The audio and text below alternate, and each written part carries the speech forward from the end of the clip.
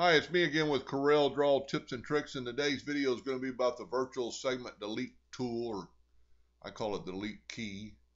Uh, I've made a couple videos on this tool. It's a real important tool. I love it.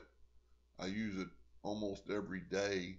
But a viewer or a subscriber uh, sent me a message off my YouTube channel when I used it, and he asked me if I'd ever used it as a lasso.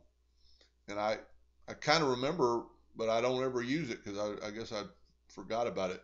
So if you go up here to get your virtual segment delete key and you want to delete these four lines, the virtual segment delete key is stops at lines.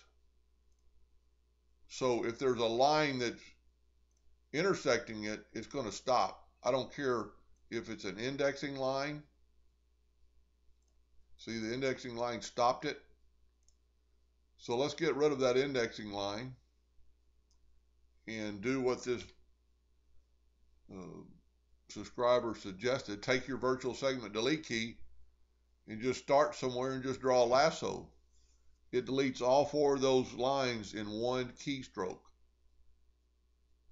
Now this is different. You know, some people will go, well, you could use the weld tool. Well, the weld tool isn't going to weld that out. It's going to weld this and, and have a you know, not your boxes. But anyway, I hope that helped a little bit, and I thank him for suggesting it, and thank you for watching.